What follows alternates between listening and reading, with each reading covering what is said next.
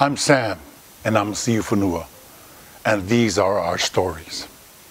My dad used to work at the uh, Long Beach shipyard where mostly all the Samoan men worked. He had to have uh, gloves, his helmet, safety glasses. He was a ship fitter there, but working there probably 18 or 19 years. My dad goes to work on Monday. He goes to work and grabs his hat. He's in a rush. He doesn't realize, you know, he's just putting his PPEs on and everything, getting ready. When he got home from work, he sat us down. He said, Junior, Marcy, Sam, come here. You sit over there. Sit over there in the middle. You guys sit here. I want to spoken to you. I want to know who do this, huh? Who do this to my head? Can you believe it? Look it. Can you believe it? Oh no, I don't believe it. Uh, it says a sopo polo. Who did that? Is this what you think of your daddy? Huh? Uh, you, you pride to your daddy like this? Is that what you think of your daddy? Okay, I tell you what, Junior, you think uh, your father is a soccer polo? Is this what you guys think of your, your dad? Junior, I know you know how to draw. I know you is very good. You know, you learn this, you got a gift from the God. But listen here, boy. I know you're gonna go something, you're gonna do something good, because I know you draw very uh, good. You know, you make all kind of pretty things. But why you use the gift from the God and use it like this on your father? You draw the softball polo. Yeah, I thought you was gonna grow up to be the art. But right now you're gonna grow up to be a guy. You know? That's what you do it, boy. You're gonna be that guy you keep doing it to your father. If that's what you want. And Sam, why you laugh? You think it's funny? You think everything is funny? Huh? You think you can laugh it? You try to laugh, everything is funny. You know what? You are so stupid. You know what? You are dumb. You call it dumb. You know, they call that, you know, you're gonna be what they call in America, you're gonna be a stupid dumb. You know, that's what you're gonna be. You better be, shut your mouth. You, you laugh too much, boy. You better don't laugh. Oh, you, you, you think you're smart, huh, Sam? well, what is 700 million thousand 221 times 500 million 428? Yeah, you don't know it, so kiss my ass, you stupid. And Tom, you don't even know what the polo is. You don't even have the phone on on your legs. You better, you just relax right there. You don't know what the phone or the polo is. Just think about it. Huh? What? Penny, what, what do you say? Oh, okay. You know what? Can you believe it? Your sister, she want me to kill you free. She want me to kill you folks. She want me to murder you. That's what she want. You folks better be careful. You know, everybody laugh at me at work. Everybody laugh at me all day at my work. And I don't know why everyone is laugh.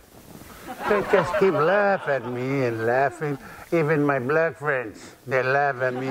They even make a song. Sopo, sopo, popolo. I don't like that song. I don't know what that means. Why do you sing that song to me? Fakukau. My name is now Sopopolo, okay? And my name is Sopolo. Okay? Thank you, son. I appreciate what you do it. I really appreciate it. Sopo, sopo, sopolo. Sopopolo. You know what? I'm starting to like this song now. Thank you very much. Thank you, son. I appreciate it. Thank you. Now my name is Sopolo.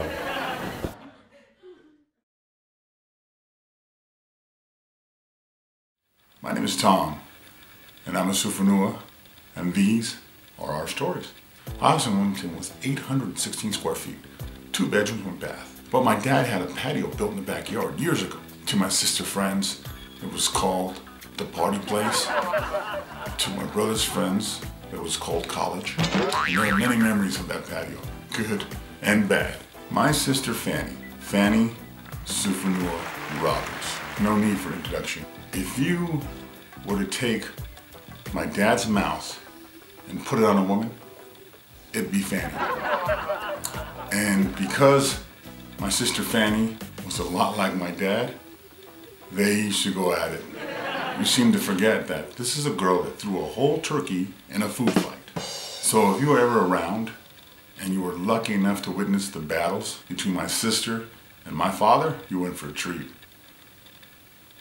There was a time when um, my sister was in the patio partying with her friends, and my dad opened the back door. He didn't really yell. He was just like ear hustling. He was sitting there listening to see if he could hear who's back there talking. But there was one voice he recognized. It's because of the laugh. Fanny. Fanny. And she'd say, Yeah? Wapia goddamn. You folks make too much noise. And she'd say, Okay. You folks making me crazy. And she'd say, Okay, love you. Okay. I hate you. Fanny, what the hell you guys doing back there, huh? Why you guys make so much noise? I try to sleep. I hear you. What you, what do you keep saying? Yo, yo, yo, yo. What you play with a yo-yo? Oh man! And why your husband? He keeps saying, turn it up or turn it off. Oh my goodness! You know what, Fanny? Tau tala means too much talk. Sa vali vali means go for a walk. Why don't you guys go for a walk? Oh, wait, wait, wait a minute. Let me see. What, what is this? Is this for me? Oh, I can play the pingo with this money? Oh, talo fai lau pele. You are the bestest. You are the bestest. Oh my gosh. Oh my lord. Thank you, God. Yeah, go ahead. You guys have fun. Do what you want. You want to make a cake? Go ahead. You can eat it all by yourself. Go ahead. Have a party, you know? Party people. You want to get funky? Go ahead.